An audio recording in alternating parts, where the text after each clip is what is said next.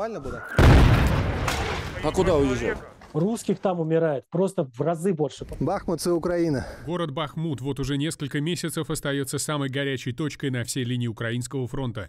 Российское командование кидает все новые силы, чтобы завоевать его любой ценой, несмотря на сомнительную стратегическую ценность. А глава ЧВК Вагнера Евгений Пригожин регулярно заявляет, что Бахмут вот-вот будет полностью окружен. Подразделения ЧВК «Вагнер» заняли всю восточную часть Бахмута. Все, что восточнее реки Бахмутка, полностью находится под контролем ЧВК «Вагнер». Генсек НАТО Йенс Столтенберг на днях заявил, что Бахмут может в ближайшее время перейти под контроль России. We uh, can uh, not rule out that uh, uh, Bakhmut uh, may eventually fall um, in the coming uh, days. And therefore, uh, it is also important to highlight that uh, this does uh, not uh, uh, necessarily uh, reflect any uh, turning point of the uh, war. Даже в украинской прессе время от времени появляются сообщения, что город может быть сдан. Инсайдер выяснил, что об этом думают украинские военные в Бахмуте. Значить, ми з вами знаходимося прямо на центральній площі. Вон міська рада. Ось тут колись був магазин Алло. У нас сьогодні тихий ранок.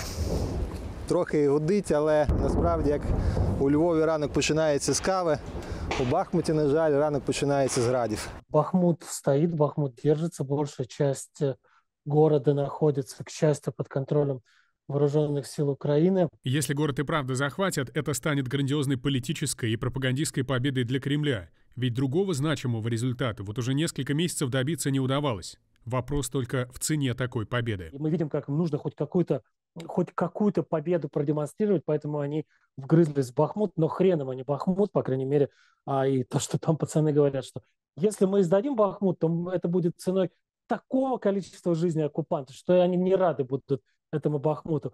Русских там умирает просто в разы больше. По разным данным, потери русских э, в 5 или даже в 7 раз превышают потери украинских защитников.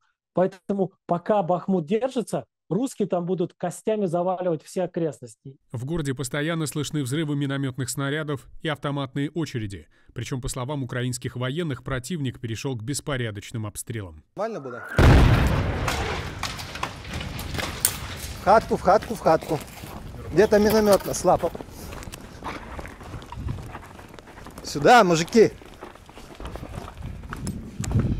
Каждые 4, 5, максимум 10 секунд, то ближе, то дальше взрывается то снаряд, то минометная мина.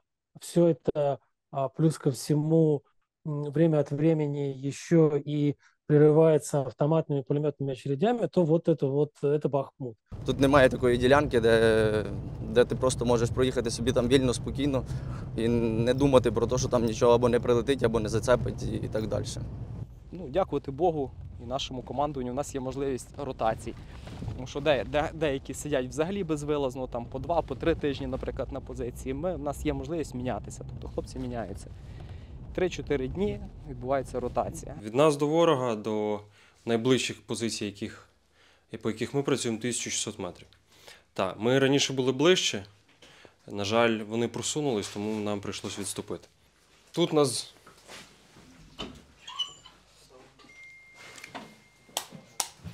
Тут у нас такий маленький склад е, нашого БК, щоб воно не відсирівало, бо на вулиці його тримати е, не можна.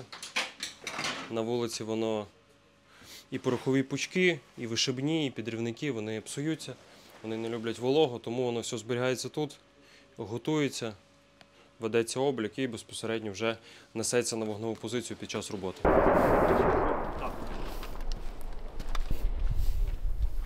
Не знаю, де ми її взяли. Ну десь ми її взяли. Постріл! Відновлення! Відновлення. Добре. Міномет готовий. Відновлення. Другий. Міномет. Постріл! Відновлення. Молодець, відпрацював. Молодець. До войны в Бахмуте жили около 75 тысяч человек. Сейчас здесь очень сложно найти дом, который бы не пострадал от войны, не пострадал бы от снарядов, от пуль, от осколков. Но мирные жители все еще остаются. В Бахмуте много месяцев уже нет воды, а, нет водопровода, не работает водопровод, нет тепла, нет электричества, нет газа. При этом в Бахмуте остаются а, по разным данным от нескольких сотен до нескольких тысяч человек, которые живут в подвалах, которые живут в, а, в домах, кто-то в своих квартирах, кто-то в тех квартирах, которые больше уцелели. Но эти люди остаются, они там живут. Почему не уезжаете? А куда уезжать? Ну хотя бы немножко дальше от линии фронта. Тут же уже прям вот я совсем. здесь родился, я здесь останусь. И выезжать некуда. Толку, что ты выйдешь, а деньги, и остальное, что ты возьмешь. Ничего ж этого. Многие ж решились, многие переехали, даже у кого там денег нету. Как-то государство помогает или не верите в это? Нет, никто не помогает. У меня жена была в том году, летом. Две недели пробыла в Днепре, и все, пришлось назад вертаться. Потому что мы там никому не надо. Знайшли, будемо так говорити, при заїзді в Бахмут. Був обстріл, він був поранений. Ми його трошки підлікували. І коли я відкрив дверку автомобіля, коли ми виїжджали, я кажу, Джек, в тебе є один шанс е, поїхати зі мною. Поїдеш, відкрив дверку, він заліз в машину. І від, від того моменту він вже з нами.